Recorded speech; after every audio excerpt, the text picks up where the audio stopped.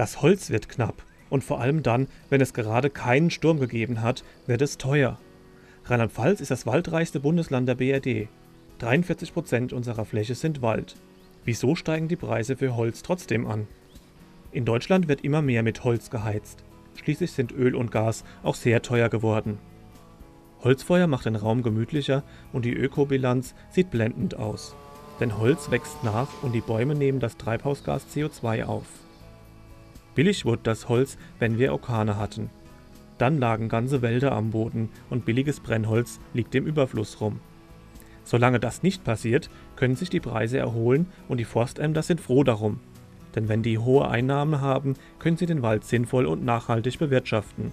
Da haben wir alle was davon.